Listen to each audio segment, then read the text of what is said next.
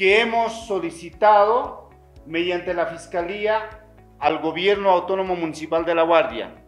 De hecho, nos reportan más de 41 asentamientos humanos en dicho Lomas de Arenas.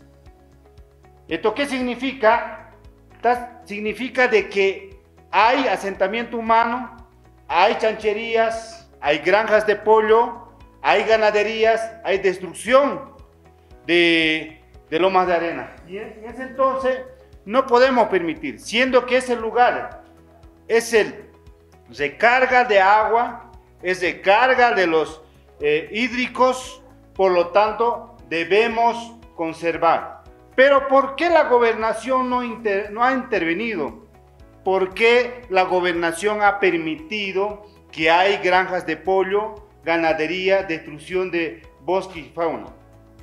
Porque la gobernación tiene que emitir la licencia ambiental para que puedan funcionar esas granjas, para que puedan funcionar la ganadería y otros más.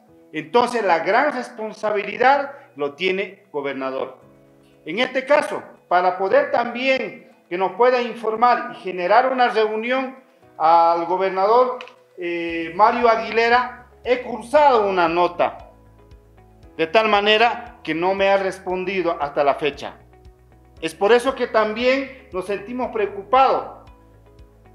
Los cruceños debemos conservar ese lugar los cruceños debemos defender Lomas de Arena porque es carga hídrica de agua.